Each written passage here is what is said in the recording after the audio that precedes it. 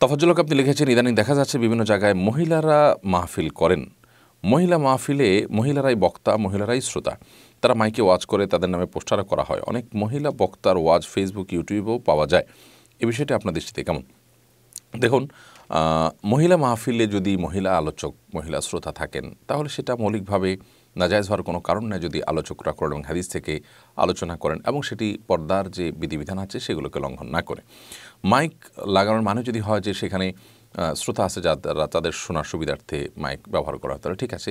আর যদি সেটা অন্যান্য যারা পুরুষরা আছেন, পরপুরুষ যারা আছেন, তাদেরও কান পর্যন্ত যাওয়ার সুবিধার্থে মাইক করে দেওয়া হয়, তাহলে সেটা অবশ্যই নাজায়জ এবং গুণা হবে। কোরআন কারিমের তেলাওয়াত তাদেরকে মাহফিলে করতে হয়।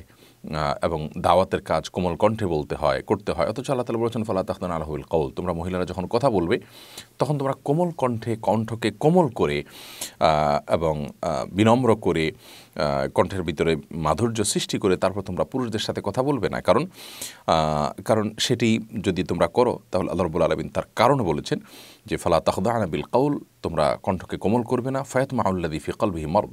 যদি তোমরা এটা করো, তাহলে যাদের অন্তরে রোগ আছে, তারা কিন্তু তোমাদের প্রতি লোভাতুর হবে এবং বাজে চিন্তা তোমাদেরকে নিয়ে করবে। এই সুযোগটা তারা পাবে। এই জন্য ইমানদার নারী, তিনি যদি মাহফিল করেন এবং পরপুরুষকে তার মাহফিলের আওয়াজ শোনার সুযোগ করে দেন বা কোনো মাহফিলের মহিলা মাহফিল এরকম মাইক লাগিয়ে পুরুষদেরকে আওয়াজ শোনার সুবিধা করে দেওয়া হয়, তাহলে এটা অবশ্যই নাজায়জ হবে গুণা হবে। আয়াতের আলোকে যেটি আল্লাহ রব্বুল সুরায় আহজাবের মধ্যে আলোচনা করেছেন, বত্রিশ নম্বর আয়াতে। অতএব এটি তো আছেই। আর তাছাড়া ইউটিউব ইত্যাদিতে ফেসবুক ইত্যাদিতে ওপেন প্ল্যাটফর্মে যদি সেগুলোকে প্রচার করা হয়, সেটা একই কারণে না জায়েজ এবং গোনা হবে। তবে যদি সেটি মহিলাদের কোনো ক্লোজ গ্রুপে শেয়ার করা হয় এবং মহিলারা নিজেরা শুধু সেখান থেকে উপকৃত হন এবং আমার দারিদ্রের সাথে সেটি তারা শুনেন, অন্য পুরুষকে তারা না শুনেন, তাহলে সেক্ষেত্রে সেটি গোনা হবে না ইনশাআল্লাহ তাহলে তাহলে মহিলা মাহফিল এটি শর্ত সাপেক্ষে জায়েজ হতে পারে, কিন্তু এটি যখন আপনার শর্ত ভঙ্গ করবে, বিশেষ করে পর্দার যে বিধিবিধান সেগুলোকে লঙ্ঘন করবে, তখন সেটি আর জায়েজ থাকার কোনো কারণ নেই।